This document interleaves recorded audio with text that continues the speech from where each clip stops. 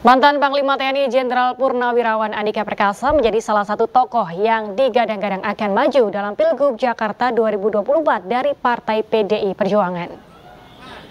Ratusan masyarakat dari sejumlah wilayah di Jakarta membubuhkan tanda tangan untuk mendukung petisi yang berisi dukungan kepada mantan Panglima TNI Andika Perkasa untuk maju dalam pemilihan Gubernur Jakarta 2024. Melalui deklarasi dukungan ini, relawan teman Andika dan masyarakat berharap PDI Perjuangan dalam hal ini Ketua Umum PDIP Megawati Soekarno Putri bisa mendengarkan aspirasi rakyat dan memilih Andika Perkasa sebagai calon gubernur Jakarta. Relawan dan masyarakat meyakini mantan Panglima TNI Jenderal Purnawirawan Andika Perkasa adalah pemimpin yang dibutuhkan Jakarta.